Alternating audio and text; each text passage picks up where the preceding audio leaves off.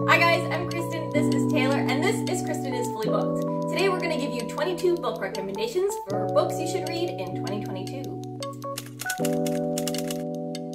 So for this recommendation video, Taylor and I came up with 11 prompts, and some of these were actually submitted by people who are on my Instagram, so thank you if you submitted a prompt. And we came up with a book recommendation, each of us, for these 11 prompts to give you 22 book recommendations of books we think you should read this year. Now, for reference, Taylor and I do have pretty similar reading tastes. We love a lot of the same books. We rarely like drastically disagree. So if you are familiar with sort of my reading tastes and preferences, very similar, but we haven't always read the same books. So we'll jump right into it. Our first prompt here is a book that will make you laugh out loud. So for this one, I'm going to go with A Knight of the Seven Kingdoms by George R. R. Martin. This is a collection of prequel novellas for the A Song of Ice and Fire series, following a hedge knight and a page, Dunk and Egg, as they travel Westeros and get into a bunch of hilarious hijinks. There's no need to have read the Song of Ice and Fire series because these are set 100 years before the main series. There are no characters in common who are referenced. You can just jump in whether or not you have read that series. There is a good mix of fun, hijinks, and hilariousness with some nice, bittersweet, kind of sad moments as well. My recommendation for this prompt is Guards Guards by Terry Pratchett, which is actually, we're starting off on a bit of a controversial note because Kristen did not enjoy this one as much as I hoped she would. It's about a bunch of misfits in the City Watch who have to try to save the city from a dragon. There's a secret society, there's a six foot five dwarf and there's an amazing woman who just really loves dragons. It's very low on plot, but really big on humor. So if you're looking for something that maybe won't suck you in with world-ending stakes, but if you just want to laugh, this is a really good book for that. For the second prompt here, we're going to go with a book that has mature main characters saving the world, and I'm going to go with The Bone Maker by Sarah Beth Durst. This is a group of heroes who saved the world 25 years ago, and we are catching up with them 25 years after the fact. While this book didn't completely work for me, I do have a review you can check out for that. I do think it was a really great example of mature main characters and seeing how the past, how them being heroes in the past has affected their life. So I thought that that exploration was really well done. And if you are looking for main characters who are older, this is definitely a great book for that, as well as a lot of other Sarah Beth Durst books.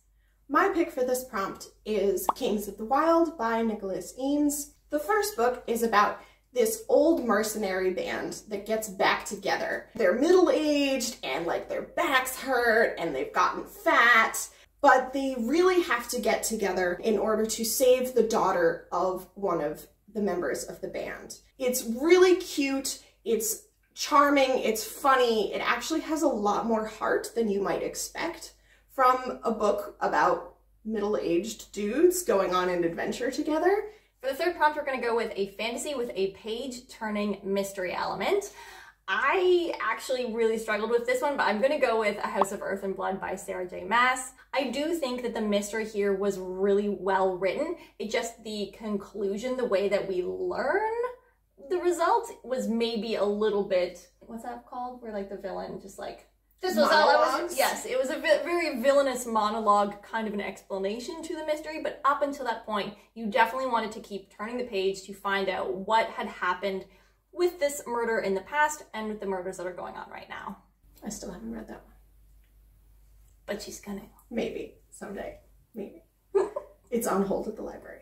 My pick for this one is The Seven Deaths of Evelyn Hardcastle, or as it was in the US, The Seven and a Half Deaths of Evelyn Hardcastle. This is a really crazy book. It's like a mixture of Agatha Christie, 1920s flapper vibes, and some really weird speculative fiction stuff going on. It's definitely not a classical fantasy. I think that this is one of those books that the less you know about it going into it, the better. But basically, the plot is that the main character has to try to figure out who kills Evelyn Hardcastle. And I won't say any more than that. You won't know everything when you're reading in the beginning. It will be confusing. Just, just go with it. Okay, for the fourth prompt here, we have a good fantasy book to read on the beach. Now, for me, I interpret a good beach read as something with low stakes that keeps you really interested so that you could, like in theory, just sit on the beach all day and read that one book. Now, I normally would say a romance book, but I'm gonna go with a fantasy romance with Radiance by Grace Draven. This story features a political arranged marriage between two people of different species who each find the other species like completely terrifying or horrendous. They have a very cute meet cute where they don't know each other and they're very honest about how unattractive they find each other, but then they decide to go into the marriage just with like friendship, honesty, and mutual respect, and it is the healthiest most wonderful relationship I have ever read in a book. Oh, yeah, so cute. The plot and the stakes here are very low, but you'll be so invested in the relationship between Brishen and Ildiko, you'll just keep turning the page to find out what happens. So I interpret a beach read as something that you want to keep reading, like that's really fun. You can duck in and out, but it keeps your attention. My pick for this is maybe a little bit controversial again because it's set in winter, but Little Thieves by Margaret Owen. I was actually the one who recommended it to Kristen and I was so excited that she liked it as well. Little Thieves is great because it is just so much fun. Like I think I was grinning the whole time that I read this book.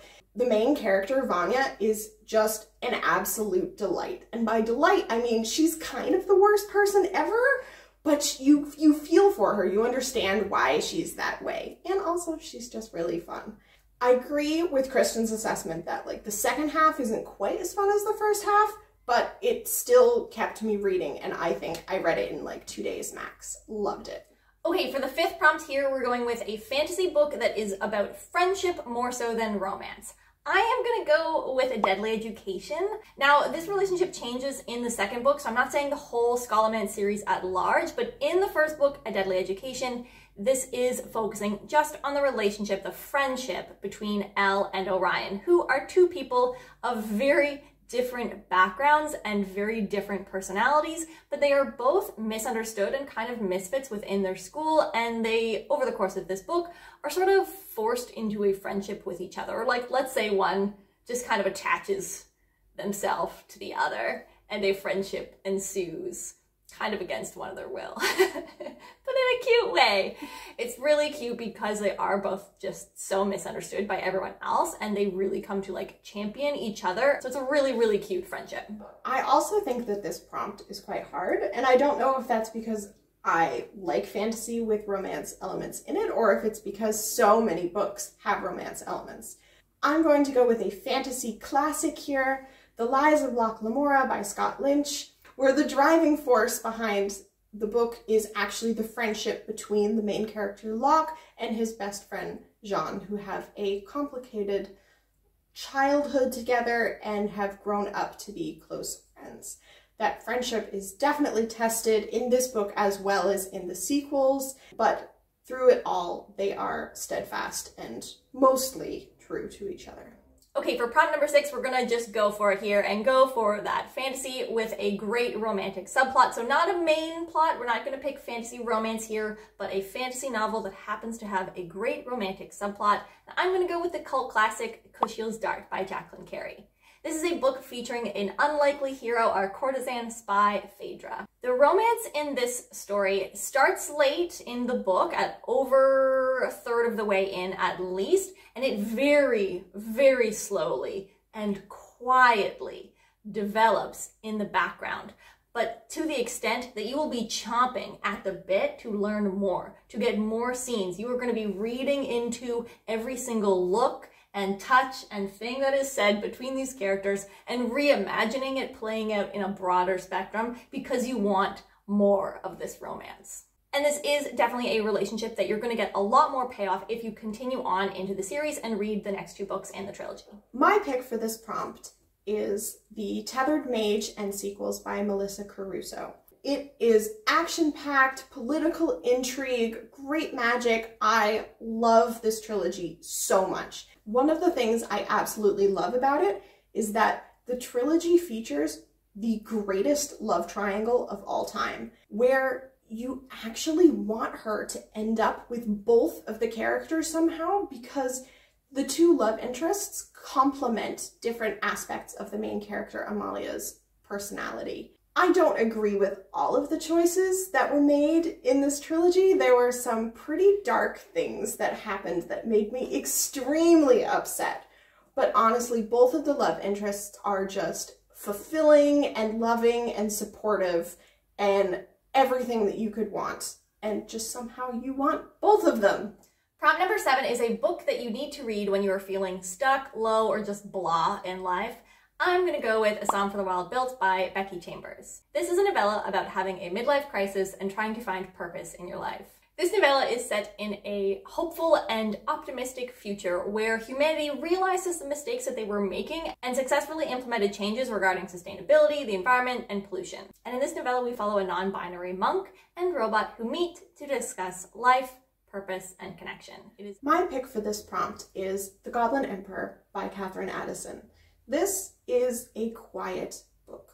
It follows Maia, who's the half-goblin son of the elf emperor. He's brought to the throne quite suddenly after the deaths of his father and older brothers, but the main driving force of this plot is the fact that Maia is lonely and really just wants some friendship. And of course, this is complicated by the fact that he is now the emperor. I absolutely adore this book. If you're looking for just a heartfelt story, this one comes highly recommended. Prompt number eight is a fairy tale retelling. I, of course, am going to go with Daughter of the Forest by Juliet Marillier. This is a retelling of the Seven Swan Brothers story where our main character is a young girl with six older brothers who are all turned into swans by an evil sorceress. I obviously love many things about this book, but from a fairy tale retelling aspect, I really like and appreciate that the tone of the book takes that suffering and kind of painful, heart wrenching elements of fairy tales and it keeps that tone in this retelling. We focus on a lot of the sacrifices that our main character Sorcha has to do in order to meet all of the requirements to break the curse and how her life is significantly impacted in a lot of ways through this curse and the breaking of the curse over the time. My pick for this one is more of a mythology retelling than a folklore retelling, but I'm going to go with Circe by Madeline Miller. This book follows Circe, the famous witch from Homer's Odyssey, and tells her side of the story. I really loved this one because I have a training in classics, and so I was actually really impressed with how this book weaves together so many different myths and lesser known myths than just the Odyssey as well in order to create a really beautiful and compelling and quite sad as well narrative of Circe finding herself, finding love, maybe, but also acceptance in herself as well. Prompt number nine is a non-European inspired fantasy, and I'm going to go with Under Heaven by Guy Gavriel Kay, which is a fantastical retelling of the Tang Dynasty set in China.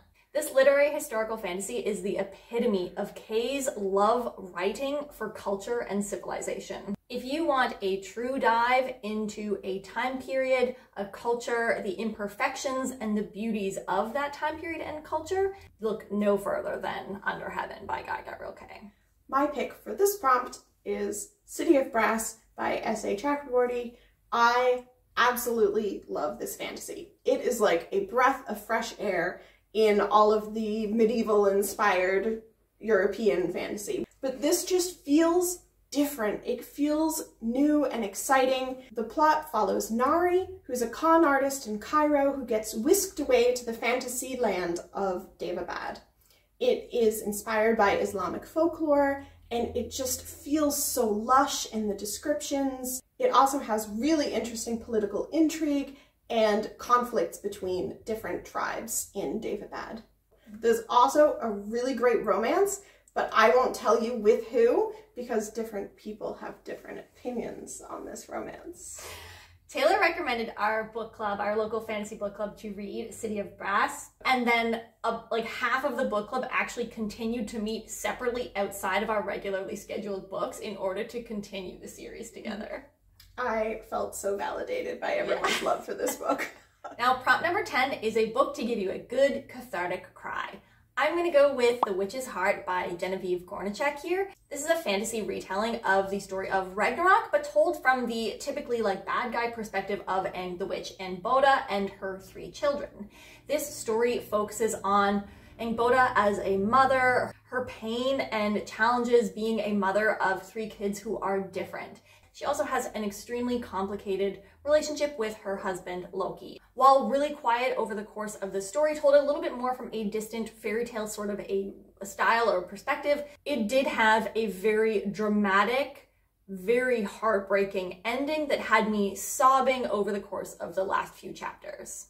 My pick for this prompt is The Light Between Worlds by Laura E. Weymouth. The premise of this book is basically what happens when the Pevensies come back from Narnia after The Lion, the Witch, and the Wardrobe.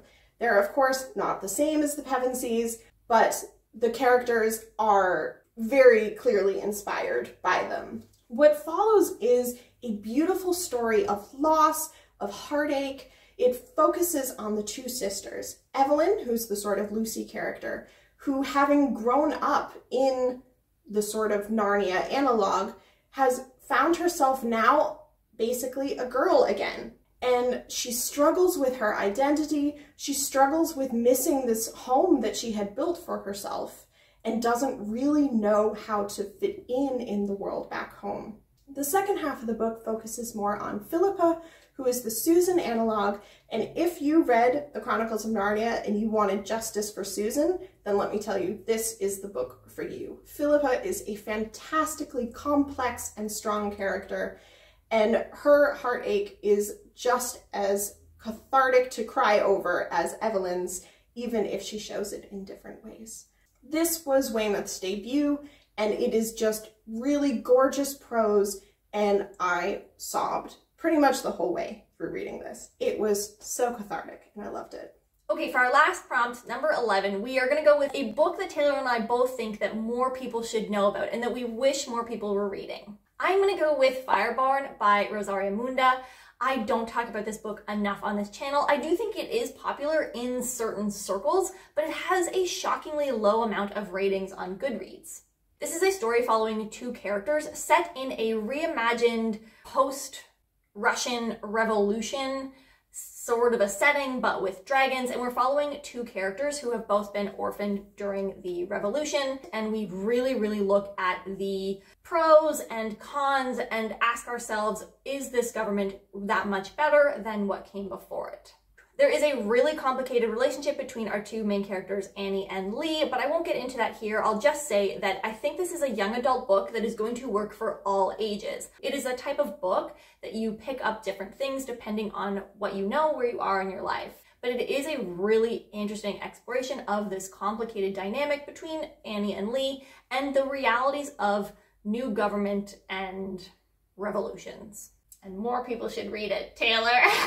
It's on my list. One final thing is that there are two books out currently, and the third and final book in this trilogy is coming out this spring. So if you haven't picked it up yet, this is a great time to do so. You have more than enough time to read the first two books and pick up the third book when it comes out later this spring. My pick for this prompt is The Councillor by E.J. Beaton, which I know Kristen has also talked about because we read it for our book club. I loved this book. This is the sort of book that I wish I could have written. It is just beautiful prose, great political intrigue, and a really fantastic main character. Lysande is a scholar, but she's not just a scholar in name. She like lives and breathes the scholarship that she knows so innately. The premise of the book is that Lysande is appointed as the counselor to the kingdom when her friend, the queen, is poisoned suddenly. She has to decide which of the four city-state rulers will take over the queen's place, but she also thinks that one of them is responsible for poisoning the queen in the first place. This book also features a really great, I don't know if I can call it a romance? What's before romance? Seduction? Oh, there we go. This book also features the amazing Luca Fontaine, whose butt looks great in a pair of tight riding pants. And he is just so much fun. He has a pet snake. Everybody should read The Councillor, especially if you like political intrigue and if you like hot guys in tight riding pants. I will link in the description box below all of the videos where I have briefly mentioned The Councillor. It's one of those books that every time I mention it on the channel, I end up talking for 15 minutes and have to cut all of it because my videos can't be that long. Okay, those are all of our 22 recommendations that you should read in 2022. Are there any books here that you've read or that you want to read? Let us know down below. If you just want to let us know that you are still here, put the snake emoji for our edge lord Luca Fontaine. Don't forget to like and subscribe. I just recently passed 400 subscribers and I'm really hoping to get to 500 sometime soon, in which case I will do a Q&A or an Ask Me Anything. So if you have questions that you'd like me to answer for that video, you can put them down below and I will get to them then. I post videos on every Monday and Thursday and I will see you guys in my next video. Thank you, Taylor, for coming in today. Thank you so much for having me. we'll see you guys next time. Bye.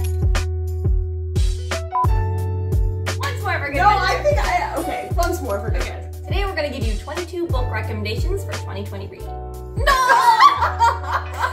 On the last second, I was like, oh, I should do one where I say to read in. You can watch her review of it on her channel. However you. And